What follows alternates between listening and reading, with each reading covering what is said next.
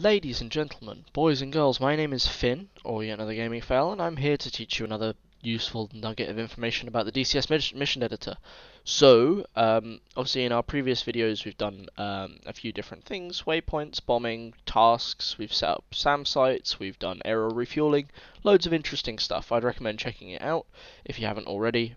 If you have, then good for you. Well done. Congratulations. So, um, in this video, we're going to be doing wave attack defense techniques. So obviously, if you're setting up a training mission, you don't want it to go on a timer for every wave because, well, what if you're teaching someone how to start up an aircraft and ready their weapons or something like that? You know, you don't want to rush them into it. You also don't want to have it on a timer because if you're going wave to wave to wave, at some point you will run out of munitions unless you're cheating. Uh, which let's assume that we that you don't do that. I don't I don't like to cheat in video games, so um, yeah. So you want to be able to control the pace at which the game is going. So what we need is some way of triggering these events. So we'll start off. Let's pick a vehicle that we can spawn in the cockpit of, just to make it easier. I'm gonna set up a US AV8B and I'm gonna set the uh, skill to client so that it's a player controlled aircraft take off, uh, sorry, take off from ramp, here we are, so we'll spawn in the cockpit, and then let's add some vehicles for us to look at. And we're not going to do the whole thing of setting up a mission and fully testing it because this is showing you the techniques we use to make it work. I'm sure you can do the rest by yourself. So we're just going to place down a whole bunch of these M113s. Uh, we're going to just place down five of them. Um, so Let's do wave one. And we're just going to do this five times. One, two, three, four, and five. We've got five vehicles, so they're going to spawn in wave by wave. Now, we want them to spawn in when we command them to. At the moment, if we do it like this, they will spawn in as default. So you hit um, late activation, which is a button just down here on the uh, the options for the vehicles individually. I'm just going to go late activation, back and forth, late, late activation, pick the next one. So now, if we were to save and hit fly, hit start, it loads up, does the whole quick speedy load, as I would hope it would. Um, we are in the vehicle, looking out the front, hit fly, and as you can see, there are no vehicles in front of us. Go in the F2 view, zoom out, there are no vehicles in front of us on this grass where we have placed them. Great. So they're not spawning in until we say so. So how do we get them to spawn in? Well, first of all, um, we need to add a new condition, which is going to add a radio option. So this will give us the trigger for the first wave. Now the condition, um, all I'm going to do is set it to uh, time more. So if the time is more than 1, so if the time elapsed during the game has been more than 1 second, let's give us a radio option. So we're going to set our action here on the right hand side to be uh, radio item add for coalition. We're going to set it to blue. We're going to call it wave 1. And we're going to leave that default. So flag 1 will have a value of 1 when this is triggered, right? So all we're doing here, like I say, just to quickly revert and make sure that we're covering this properly, is the radio option, which we're going to have on spawn after one second, is going to give us a, a cue to say spawn wave 1, and when you interact with that radio marker, it will set the flag of 1 to a value of 1. Great, fantastic. But at the moment that doesn't do anything. We need to actually have it do something. So let's hit new and let's call this tr trigger wave 1 uh, activate, why not? So now, let's say you've interacted with the with the radio menu. You've told the um, you've told the aircraft or you've told the the world that you are, you are ready to fight against enemy units. Well, you're going to need to acknowledge that that flag has happened. So let's go to flag is true. So if flag 1 is true or has a value higher than 0 uh, or is a boolean true or false, um, then we can, we can continue to do the next action. Now the next action that we're going to do is to activate the group that you know, we're going to be fighting against. So the first one is going to be called wave 1. Great. Well, that's cool. So we've got it to do one wave. You know, let's say you fight off that wave, you're done.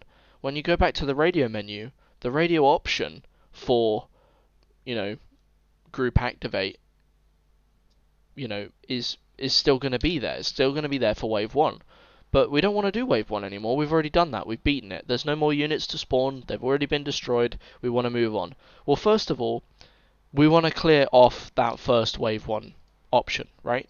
So what we're going to do is we're going to hit new. We're going to scroll down to radio item. We're going to do remove for coalition blue. And we're going to do wave 1, like that.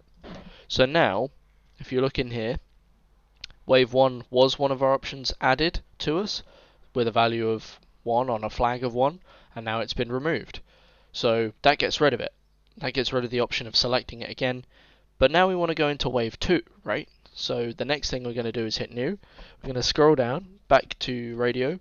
Uh, radio item add for coalition again, blue, and we're going to call it, would you guess it, wave 2. Not 22, not 3, wave 2. And this time we're going to do a flag of 2. Because flag 1's already been activated, so it's not going to do anything again if we keep doing it. Instead, let's do wave 2. You could have it uh, theoretically set way like flag 1 to false and then trigger it again and all of this McGubbins, but it becomes really complicated when you do that. It's easier for us to set the uh, the flag to 2 in this case. So great. We've we've now given us the option to activate Wave 2. Now, I don't know if you noticed, but all we have to do now is click on the one that we've just created for Wave 1 and we can clone it, and now we can call it Wave 2 Activate. Because it's the same thing, you know, the flag that we're looking for to be true is no longer Wave 1, it's going to be Wave 2. The group that we're going to activate is no longer Wave 1, it's going to be Wave 2, so let's just make sure I've got that set correctly there, yep. Um, you know, we're no longer getting rid of the radio option for Wave 1, you know we've select we've done wave 2 now so we're going to select wave 2 and get rid of that radio option.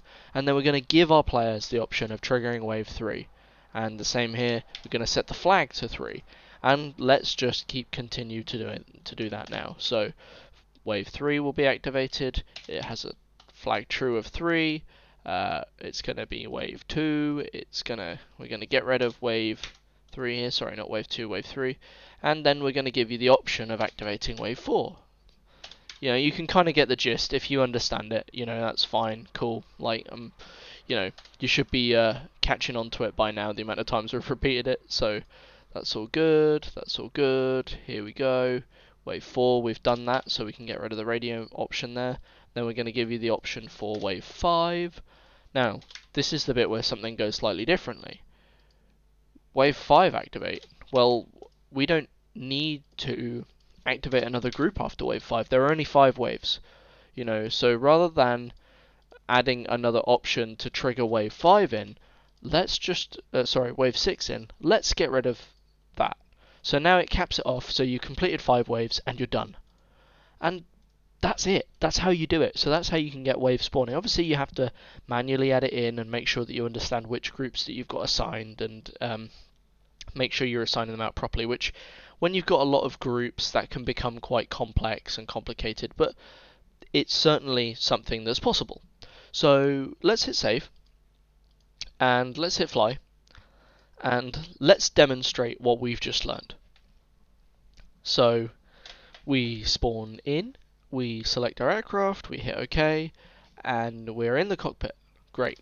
Now I'm going to just come to the outside view for this just so that it's a bit easier to see we got us set up with a nice shot here. Now, um, let's have a look. So I go on the radio menu, which pops up in the top right, and you can barely see it. We do F10, which gives us the radio options, and the option at F1 is Wave 1. Bam! And M13 has just spawned in. And now let's go and have a look. We press the radio menu again, we go to F10, Other.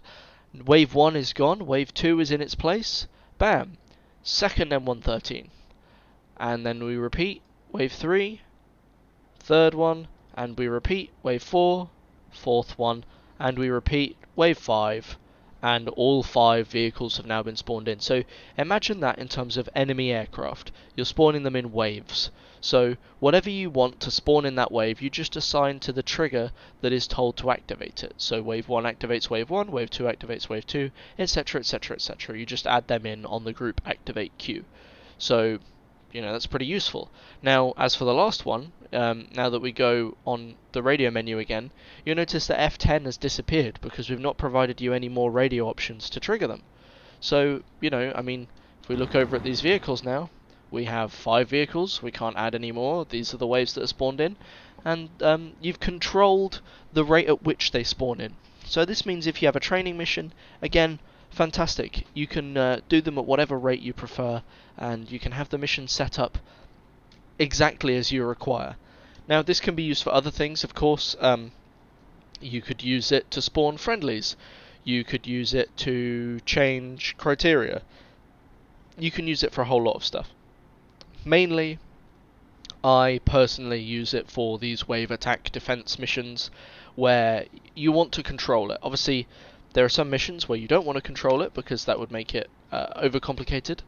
But in this case, we have controlled the rate at which the aircraft or enemy are spawning in, and so we can uh, measure our attack slash defense strategy against that. Um, so I hope that's been in like you know informative for you guys. I hope that you've learned a decent amount off that, that you can apply that to a mission in the future. If you do, leave a comment. You know, just stick a stick a like on it. Just say great, thanks, this does exactly what I need, so that other people can see that this is also helpful, because obviously it's a tutorial. There are millions of tutorials out there, and I've been trying to keep it concise and informative, and to let you know exactly what it is that we're doing. And I don't want to be one of those bumbly, like, yeah, first we do this, second we do this. You know, I want to tell you why we're doing it, so that that way you can learn and apply those techniques to your own missions and that we can see a whole load more interesting missions out there in the DCS world.